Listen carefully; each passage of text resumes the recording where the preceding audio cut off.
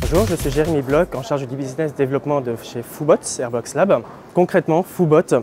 c'est ce petit appareil qui va analyser la qualité de l'air intérieur, détecter les particules fines, les principaux gaz qui vont polluer notre intérieur, ainsi que la température, l'humidité, et nous émettre des recommandations par l'intermédiaire de cette application mobile,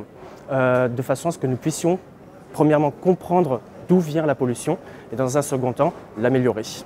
Il faut savoir qu'aujourd'hui, nous passons 90% de notre temps en intérieur, que ce soit au bureau,